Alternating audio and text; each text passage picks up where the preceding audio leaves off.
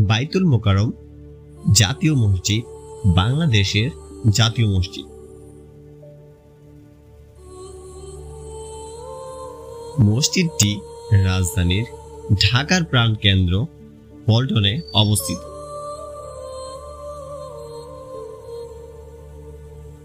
উনিশশো আটষট্টি সালে মসজিদটির নির্মাণ কাজ সম্পন্ন হয়। এর স্থাপত্য শৈলী অন্তত দৃষ্টিনন্দন। তৎকালীন পাকিস্তানের বিশিষ্ট শিল্পপতি লতিফ বাওয়ানি ও তার ভাতিজা ইয়াহিয়া হাওয়ানির উদ্যোগে এই মসজিদ নির্মাণের পদক্ষেপ গৃহীত হয়। মসজিদে একসাথে ত্রিশ হাজার মুসল্লি নামাজ আদায় করতে পারে। ফলে ধারণ ক্ষমতার দিক দিয়ে এটি বিশ্বের দশম বৃহত্তম মসজিদ। তবে মসজিদটিতে জুমার নামাজ ছাড়াও বিশেষ রমজান মাসেও সময় অত্যাধিক মুসল্লির সমাগম হয় বিদায়। বাংলাদেশ সরকার মসজিদের ধারণ ক্ষমতা চল্লিশ হাজারে উন্নীত করে। হ্যালো প্রিয় দর্শক, আসসালামু আলাইকুম। স্বাগতম জানাচ্ছি নতুন একটি ব্র্যান্ড নিউ ভিডিওতে বরাবরের মতো আপনাদের সাথে আছে blogger by and you are watching I am blogger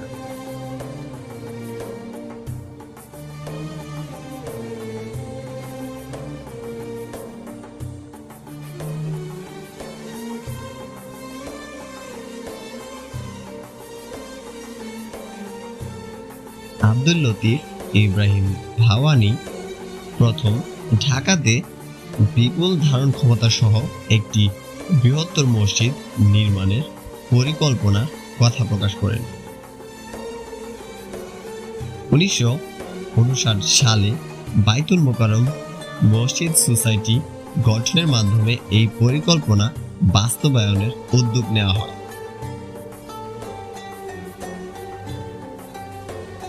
পুরান ঢাকা ও নতুন ঢাকার মিলনস্থলে মসজিদটির জন্য আট দশমিক ত্রিশ একর জায়গা অধিকরণ করা হয়। স্থানটি নগরীর প্রধান বাণিজ্য কেন্দ্র থেকেও ছিল নিকটবর্তী। সেই সময় মসজিদের অবস্থানে একটি বড় পুকুর ছিল, যা পল্টন পুকুর নামে পরিচিত ছিল।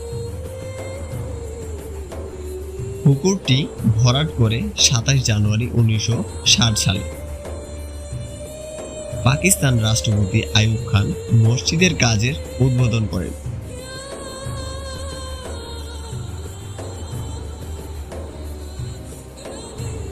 সিন্ধুর বিশিষ্ট স্থপতি আব্দুল হুসেন থারিয়ানিকে মসজিদ কমপ্লেক্সটির নকশার জন্য নিযুক্ত করা হয়। পুরো কমপ্লেক্স, নকশার মধ্যে দোকান, অফিস, গ্রন্থাগার ও গাড়ি পার্কিং এর ব্যবস্থা অন্তর্ভুক্ত হয়। মসজিদটির নির্মাণ কাজ সম্পন্ন হওয়ার পর শুক্রবার পঁচিশ জানুয়ারি উনিশশো তেষট্টি সালে প্রথমবারের জন্য এখানে নামাজ পড়া হয়।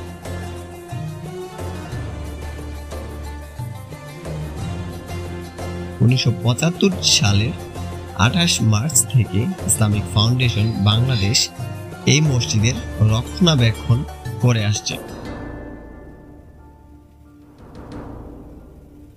বর্তমানে বাইতুল মোকারম জাতীয় মসজিদটি আটতলা। নিচতলায় রয়েছে বিপণী বিতান ও একটি বৃহত্তর অত্যাধুনিক সুসজ্জিত মার্কেট কমপ্লেক্স। দোতলা থেকে ছয়তলা পর্যন্ত প্রতি তলায় নামাজ পড়া হয়।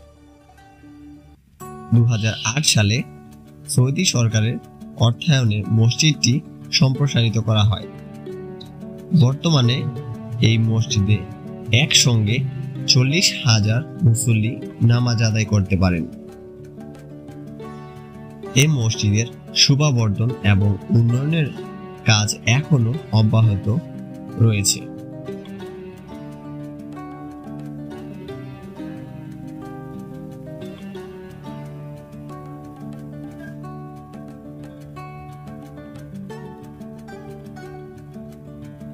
মসজিদটি খুব উঁচু। মসজিদের প্রধান ভবনটি আটতলা এবং মাটি থেকে তিরিশ দশমিক এক আট মিটার বা নিরানব্বই ফুট উঁচু। প্রধান ভবনটির রং সাদা। মূল নকশা অনুযায়ী মসজিদের প্রধান প্রবেশপথ পূর্ব দিক হওয়ার কথা। পূর্ব দিকের সাহনটি দুই হাজার ছয়শো চুরানব্বই দশমিক এক বর্গ মিটারের এর দক্ষিণ ও উত্তর পাশে উজু করার জন্য জায়গা রয়েছে।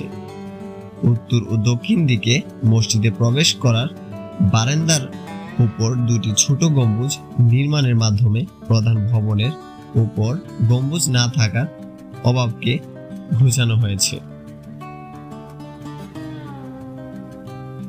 এই মসজিদটিতে মোগল স্থাপত্য শৈলীর ঐতিহ্যগত বৈশিষ্ট্যের পাশাপাশি বেশ কিছু আধুনিক স্থাপত্য শৈলীর নিদর্শনও রয়েছে।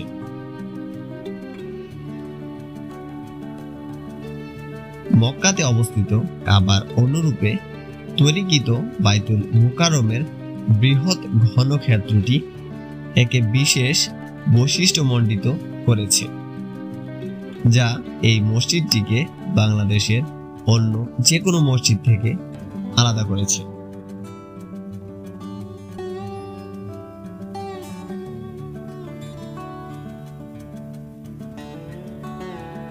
মসজিদে প্রবেশ করার বারান্দাগুলিতে তিনটি অশ্বক্ষুরাকৃতি খিলানপথ রয়েছে।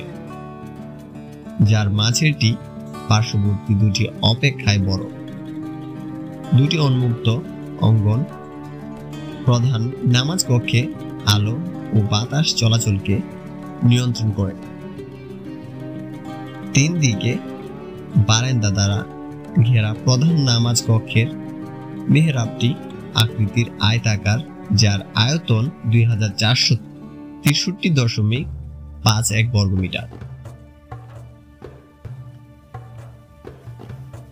সমগ্র মসজিদ জুড়েই অলঙ্কনের অধিকক্ষে এড়িয়ে যাওয়া হয়েছে। মসজিদের বিশাল এলাকা জুড়ে রয়েছে বাগান। বাগানটি মুঘল শৈলীতে স্থাপন করা। বাইতুল মোকারম মসজিদটি আটতলা নিচতলায় রয়েছে বিপণী, বিতান ও বিশাল মার্কেট। দোতলায় রয়েছে। দোতলা থেকে ছয়তলা পর্যন্ত প্রতিতলায় নামাজ পড়া হয়। বর্তমানে মূল মসজিদ এবং উত্তর, দক্ষিণ, পূর্ব সাহান মিলিয়ে সর্বমোট চল্লিশ সহস্রাধিক মুসল্লি একত্রে নামাজ আদায় করতে পারেন।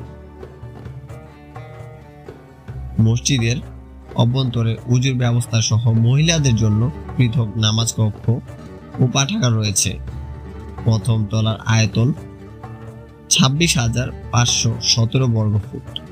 দ্বিতীয় তলার আয়তন দশ হাজার ছয়শো ষাট বর্গ ফুট এবং তৃতীয় তলার আয়তন দশ হাজার সাতশো তেইশ বর্গ ফুট চতুর্থ তলার আয়তন সাত হাজার তিনশো চল্লিশ বর্গ ফুট পঞ্চম তলার আয়তন ছয় হাজার নয়শো পঁচিশ বর্গ ফুট এবং ষষ্ঠ তলার আয়তন সাত হাজার চারশো আটত্রিশ বর্গ ফুট জুমা ও ঈদের সময় বাড়তি উনচল্লিশ হাজার আটশো নিরানব্বই বর্গ ফুটে নামাজ পড়া হয়। মহিলাদের ছয় হাজার তিনশো বিরাশি বর্গ ফুটের নামাজের জায়গা রয়েছে, যা মসজিদের তিনতলার উত্তর পাশে অবস্থিত।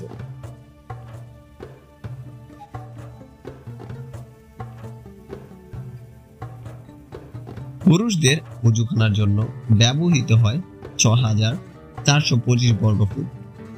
মহিলাদের উজুখানার জন্য ব্যবহৃত হয় আটশো আশি বর্গ ফুট। মসজিদের প্রবেশ পথটি রাস্তা হতে নিরানব্বই ফুট উঁচুতে অবস্থিত। প্রতি শুক্রবারে দূর দূরান্ত থেকে অনেক মানুষ আসে এই মসজিদে জুম্মার নামাজ আদায় করতে। অনেক দেশি, বিদেশি পর্যটক বাইতুল মোকারম মসজিদ দর্শন করতে আসে প্রতিদিন।